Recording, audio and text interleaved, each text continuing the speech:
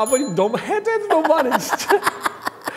그게 어리 못 가더라고. 다 알아. 아니 근데 알거든. 그렇게 살면 집에 돈 안 갖다 줄 거 아니에요. 그때 당시 월급 적은 게 월급은 다 줘요. 근데 그때 당시는 수입이 있었어. 원래 영화가 9시 시작하잖아요. 그럼 9시 5분에 10분에 온 사람들 있잖아. 돈 주고 들어가잖아. 그 돈을 다 받은 거야. 그 부수입이 있었어, 우리 아저씨가. 그렇게 그 돈 갖고 자기가 쓰고 그랬지. 집에는 안 갖다 주고. 어, 자, 자기는 월급만 갖다 줄게 나를 월급만 갖다 주고. 그러니까 이제 안 되겠길래 애기들이 크고 온게 이제 하숙을 짓지. 그때부터 하숙을 내가 이제 반찬도 못은 내가 이제 우리 올케가 하숙을 치고 있었어요. 그 올케집 가서 날마다 애기, 애기였고 정때 째까할 때. 가갖고 음식 배우고 학생들한테 어떻게 경가 막 배우고 그래갖고 방 막침을 두 개 갖고 시작했어. 하나는 우리가 살고 하나는 하숙 두명 치고.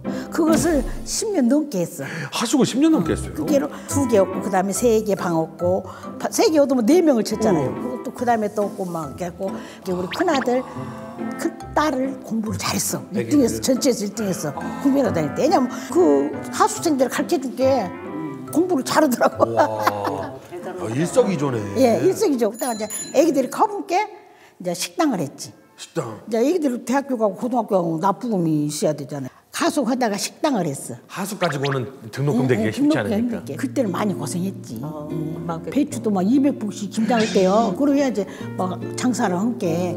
뭐 한시 두 시까지도 장사했어. 갖고 집을 샀지. 집도 사고. 그때 당시 그랬어. 와 등록금도 되고 집도 집도. 살 정도면은 장사가 상당히 잘 됐네. 근데 그 정도 장사가 잘 됐으면 일손이 부족했을 텐데. 아 사람 다 쓰고 했죠. 아버님은 안 도와주고? 아이고 자기는 그때 이제 얼굴 조그만 거 받아다니면서 직장 다니다가 이제 그만둬갖고 옛날에 소고기 뷔페가 나왔잖아요. 그걸 한다고 막 졸음깨로 바로 옆에 가게에서 2층에서 그 소고기 뷔페 하고 나는 밑에서 식당을 쭉 하고 그러다가 이제 밥 좀 늦게 차려줄게 그냥 내려와 갖고 겨울에 가스 위에다 가스레인지 위에다 물주전자 올려놨잖아요. 그럼 던졌는데 다행히 물이 나한테 안 튀니라고 다행이지.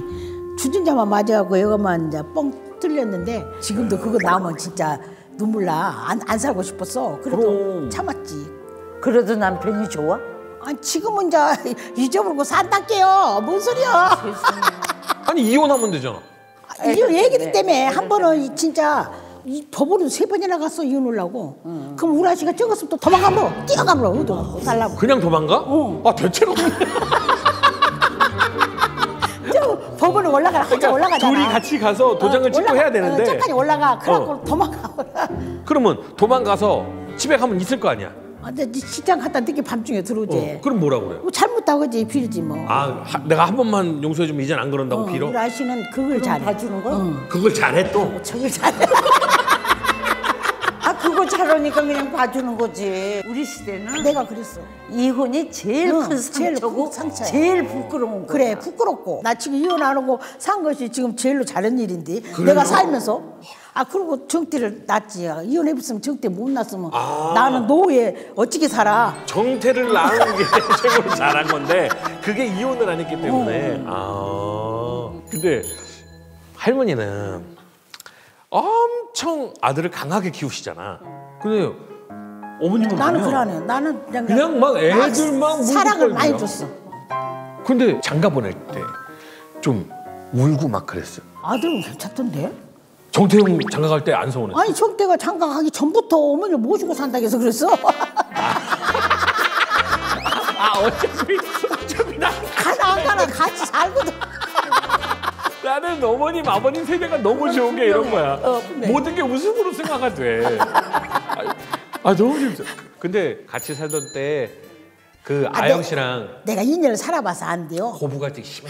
아이고 내가 그때 살이 한 5kg 빠졌었고요. 못 살고 있더라고. 뭐가 왜냐면? 며느리가 그것도 결, 임신해갖고 결혼했잖아 며느리가. 며느리도 임신해서 결혼했어? 음. DNA가 있네. 그 집이, 그 집이 DNA가 매력이야 매력. 오, 그것도 못 참았구나. 미리 매 들어가지고 왔어. 아유 근데 모든 게 우리 며느리가 이렇게 시어머니 주고 살면 지가 아침밥도 해야 되잖아요. 안 해. 안 해? 결혼해갖고 나를 배, 배 임신 몰랐다 아는 거야. 또 밥에서 받쳐야지, 뭐 청소해야지, 빨래 빨아야지. 이 반찬이 안 맞아요. 튀기는 애기들 반찬이고 나는 우리는 된장찌 김치찌개인데 우리 거 보고 해놓고 지그 반찬 따로 해놔야 되고 와 그거 보통 일 아니요 갖고 내가 그냥 한 번은 성질하고 나도 진짜 막걸리 하나 갖다 놓고 딱 먹으면서 나 도저히 못 살겠다 게 2년만 살고 따로 살자 그랬더니 그때부터 며느리가 좀 쭈그러지대. 어, 아. 따로 산다. 그러니까 앞으로 2년만 딱 끝나면 이제 안 살 거니까 그때부터는 좀 잘해 며느리가. 아, 좀 쭈그러지더라고. 그러니까 안 나가고 싶어지진 않았어? 아이고 뭘 나온 게 잘했지. 잘했어. 아니 생활비 주지. 큰아들 용돈 주지 딸이 주지 달달이 통장에 딱딱딱 들어지 무지 좋아 같이 살자고도 안살 거예요 근데 이제 손녀딸이 이쁜 게 조금은 같이 살고 싶은 마음이 있는데 아 지기들이 나 필요할 때 부르면 가서 얘기 봐주고 시끔 바꿔도. 그 같이는 안 사는데 거의 같이 사는 것처럼 자주 간다면서요? 우리 아들이 좋아하는 반찬을 갖고 가지 나는. 며느리가 반찬을 못해요. 하나도 못해. 애기들 반찬만 해, 애기들 반찬만. 깨로 내가 우리 아들이 좋아하는 것을 해갖고 왔지. 전번에 또 며느리가 아프다고 전화가 왔길래 내가 추어탕을 사갖고 갔어요. 어머니 괜찮아요? 그래갖고 이제 아유 그래서 내가 아야 네가 아프다면서 추어탕 먹어라. 그 기운 내라. 그랬어. 그랬더니 가만히 생각해보니 우리 아들이 좋아하는 추어탕이더라고. 며느리가 아프다는데 아들이 좋아하는 거 생각났어. 아 그래갖고 내가 아 정태야 네가 그 며느리가 아플 땐 네가 밥도 챙겨 먹고 네가 하고 그래라. 아이고 내가 며느리 편을 조금 들어줬지. 그래서 아, 며느리는 초밥을 줬는데 잘못했네. 내가 초밥을 사와야 돼 내가 잘못했다고 해서 다음에 초밥 사오라 그- 사온다고 그러고 입감을 해버렸지 그럼 지금은 서로 고부 갈등 없어요? 지금은 없죠 지금은 떨어져 살면 없어. 떨어져 살면 없어 왜냐면 안 본게 그러면 오정태 씨한테 서운한 건 없었어요? 우리 정태는 서운한 건 없지. 근데 이제 지기들끼리 한 번씩 나 모르게 놀러 갈 때가 있어. 말하고도 가도 되는지 말 않고 갈갖고 남이 이게 들키잔 말이야. 애기들이 말해. 할머니 어디 놀러 갔다 와서 그거 들키면 좀 서운하더라고. 아, 차라리 말하면은 아이 괜찮아 놀러 갔다 와할 텐데. 따라고. 나 다리 아프고 허리 아파서 걸어간 거 못 가지만 차 타고 가는 거 얼마나 갈 수 있잖아요. 구경 나는 구경을 좋아하니까 그럴 때가 좀 서운하더라. 그러면 한번 알았어 그럼 통화 한번 해봐. 자 내가 오정태야. 자 어머니 전화 받아봐. 뾰로로롱. 여보세요? 어 엄마 이번에 강원도에 있는 콘도를 한번 갈까 하는데 엄마는 안 가고 싶지? 아니 나 가고 싶어. 그래서 전화 안 거는 거야. 그래서 전화를 안 거는 거예요 어머니. 물론 서운한 거 알겠는데 싶다는데 할말 없잖아. 가고 싶다니까 어 알았어 그럼 엄마 데려갈게 이래야 되니까 그래서 뭐 미안해서 전화를 못 바로 거는 거야. 이거야. 그래. 지기들 가더라도 우리한테 돈만 주면 되지 둘이 가고 해. 둘이 갔다 오셔 돈만 주면 되지. 나는 그거 제일 좋아. 아 그래? 어, 며칠 전에도 우리 아들이 저 이달에 우리 동생들이 강주에서 딸 다섯이 와요. 나 닮은 사람들이 와요. 우리 아들이 이모들한테 맛있는 거 사주라고 돈을 보냈더라고 며느리한테 해갖고 며느리가 막 웃으면서 우리 며느리도 착하긴 해 착해. 딸이 같으면 통장을 딱 넣어줘 볼 것인데 딱 갖고 와갖고 어머니 일모님 오시고 함께로 어머니보다 한턱 쏘라 그래요. 저거 주더라고. 난 그래서 우리 아들이 이쁘라게 안을 수가 없어. 아니 지금 며느리가 돈 줬다면서요? 아니 아들이 준 게 며느리로 친구로 말했지 우리 며느리로. 아니 보통 이러면 아유 우리 며느리가 참 고마워라고 해야 되는데 아들한테 고마워요? 그럼 아들이 저 친구를 그럼 뭐. 그럼 며느리 아들이 줬는데. 분명히 말씀드리지만 이 시대 분들은 원래 이- 이런 삶을 사신 거예요. 오해하지 마요.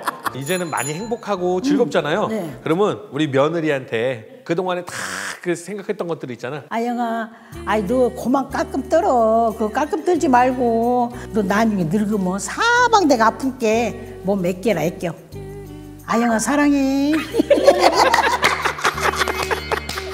또 사랑한데. 아이고 아무튼 어머니 오늘도 고생했고 그 동안 참 수고 많으셨어요. 고마워요. 떡볶이 집이 아무리 내가 하려고 해서도 매상이 너무 안 올라요. 그냥 어떡해요. 딴 업종으로 바꾸려고 그럽니다. 어? 아니 그러면 나 실업자 되잖아요. 그 무슨 업종으로 바꿔도 나는 데리고 가 할머니. 알았어! 오늘도 시작되는 건데 라떼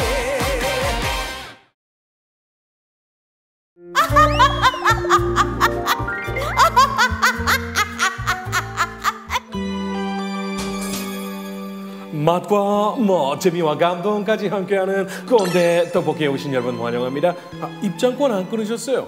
아, 아, 컴온.